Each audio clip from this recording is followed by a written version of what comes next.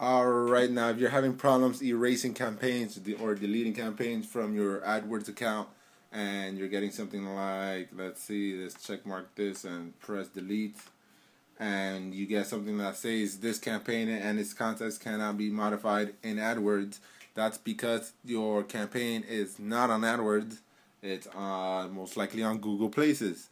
Uh, as you can see on the left side, it says Places Ads right there, so it gives you a little hint on where is that.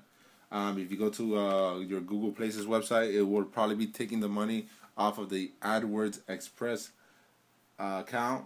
Just click here, and this is where your ad is at. This is where AdWords is uh, charging for their clicks. Um, so just edit it here. You can modify it here. You can also deactivate it here. This is where your ad is at most most of the time.